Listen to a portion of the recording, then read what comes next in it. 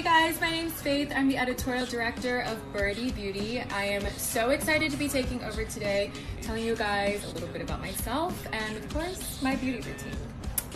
So, the first question is You've been in the industry for over eight years. How have you seen the beauty industry change? Beauty industry has changed so much, and I think that's an amazing thing. Um, definitely, Instagram, YouTube, social media has changed beauty and allowed a lot more people to um, have a following and have a voice and show their talents, and I think that's incredible.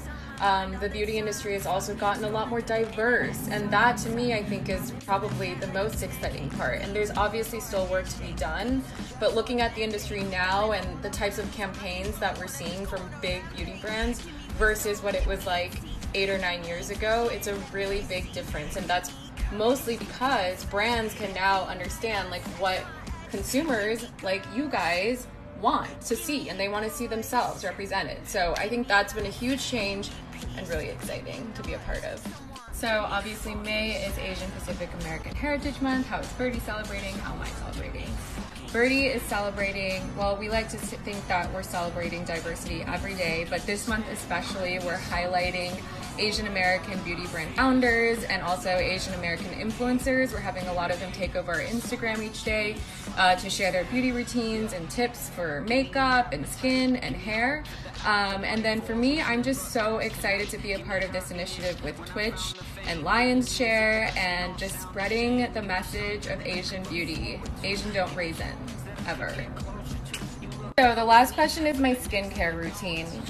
So I hope you guys know what's in store because you're speaking to a beauty editor. So I just want to make sure you're prepared. Like settle in and grab some popcorn because like it's gonna get wild. Give me two steps to the left.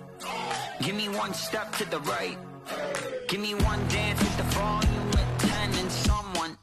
anyone, give me fucking zen. Someone give me fucking zen.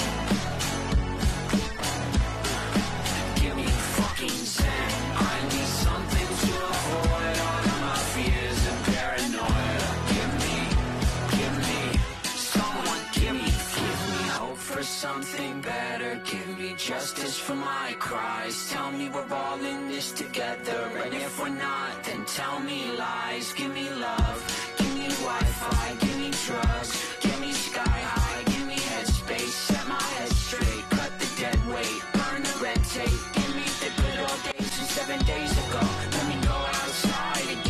Thanks for tuning in, guys. I hope you enjoyed witnessing my very extensive skincare collection.